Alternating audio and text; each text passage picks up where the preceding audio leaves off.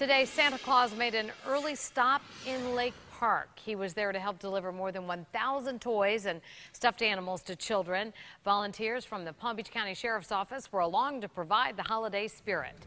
The gifts were brought in on a specially made fire truck that could also entertain children.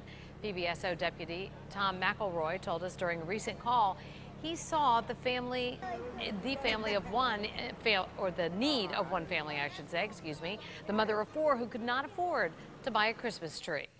It really hit. It really hit my heart. I, I was, you know, I really wanted to try to do something for that family. So I got together with my partners at work, and we decided to take it upon ourselves to go and um, try to get them a, a Christmas tree, some decorations, and some presents for the family.